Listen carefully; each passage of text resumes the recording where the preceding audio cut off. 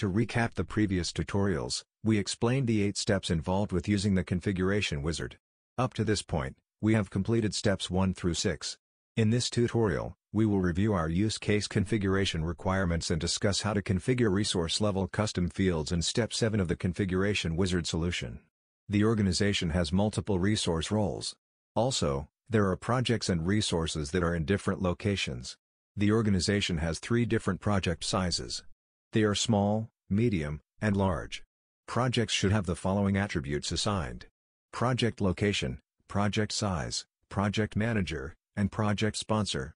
Tasks should have a location attribute, and also have a CAPEX flag. Lastly, resources need to have the following attributes assigned. Resource location, resource role, and also include external resource flags. Resource-level custom fields are attributes or properties of resources. For our use case, we will create the following resource-level custom fields. Location, resource role, and also an external resource flag. Let's see how to do this in the configuration wizard. To configure resource-level custom fields in step 7 of the configuration wizard solution, please start by clicking the plus button. This will bring up a pop-up screen for you to provide a name for the custom field, add a description, select the type of value inside the custom field, select a custom attribute, and make the custom field mandatory to fill out.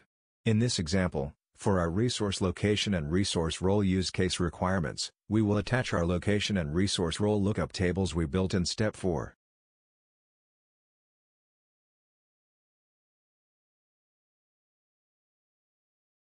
Also, since our requirements indicate an external resource flag, our third resource level custom field will be a flag type of custom field.